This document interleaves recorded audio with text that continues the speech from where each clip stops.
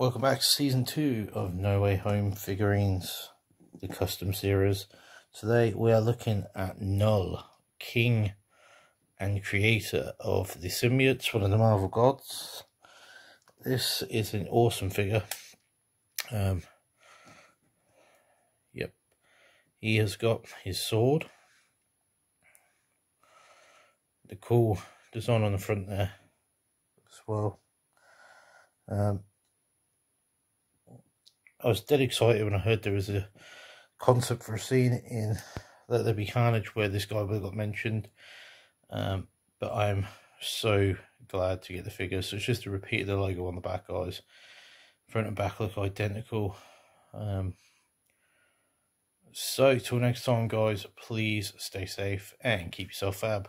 Hey guys and girls, I hope you enjoyed that content.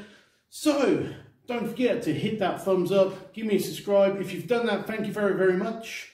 But if you like your content a bit more mature, a little bit gory, sometimes scary, or you want to find out what's going on in my personal life with the community, come along to the Gaming Hobby Channel R and we'll see you there. Till next time guys, keep safe and stay fab.